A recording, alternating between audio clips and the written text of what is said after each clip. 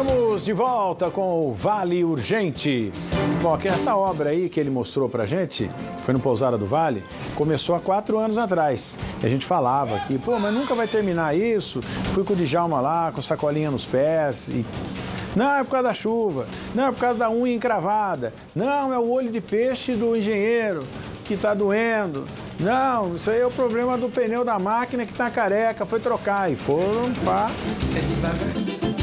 Devagar, devagar, devagar, devagarinho, é. Mas aí, quando foi se aproximando agora do pleito eleitoral, Aí nós perguntamos, oh, mas agora? É porque a gente faz devagar, mas a gente faz bem feito.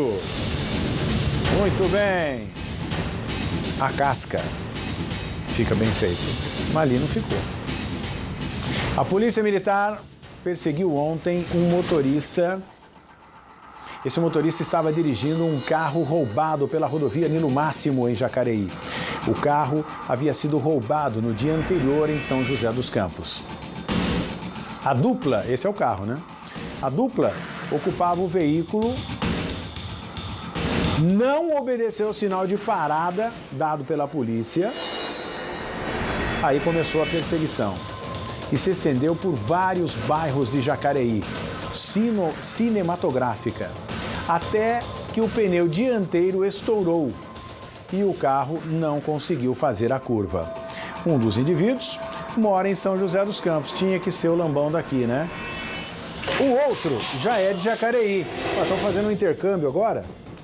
Eles foram reconhecidos como autores do roubo e levados até o terceiro DP. Foram autuados em flagrante e neste momento, nesse momento estão comendo, ou já comeram, né? Só eu que almoço tarde, né?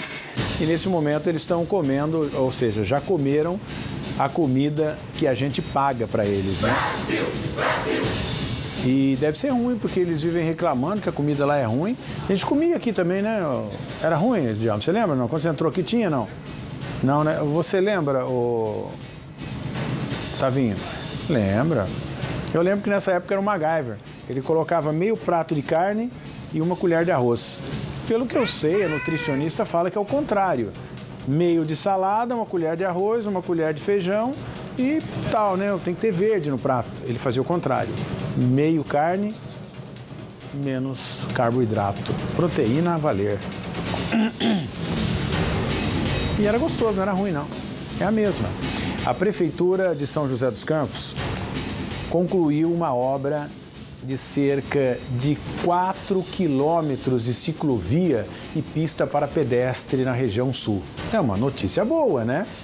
A obra começa perto da Rua Lira, do Jardim Satélite, seguindo até a Avenida Ouro Fino, também na região sul, né? Só que aí já é próximo do bosque, essa, essa Ouro Fino, Bosque dos Eucaliptos.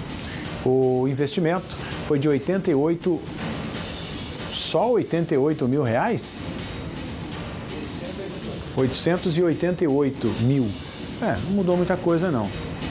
Na nova faixa de para bicicletas e também pista de caminhada. O representante da Sociedade Amigos de Bairro, lá do Bosque dos Ipês, o Nelson Alves de Oliveira, vai falar aqui das obras para gente. Tomara que não seja candidato também, né?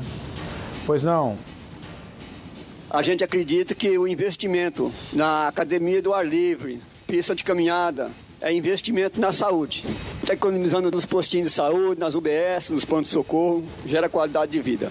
A gente da Zona Sul tem muito que comemorar, porque essa Zona Sul ganhou muito na qualidade de vida, tanto na área do transporte, quanto na área da saúde, também na área do social. A gente viu a duplicação do viaduto, quanta qualidade de vida melhorou para quem usa o transporte aqui na região sul. Verdade, tem muita gente pedalando ali, né, galera? É... Cuidando da saúde, né? Você viu quanta gente pedalando? Parabéns. Está na hora da gente ir embora. O nosso lema é esse.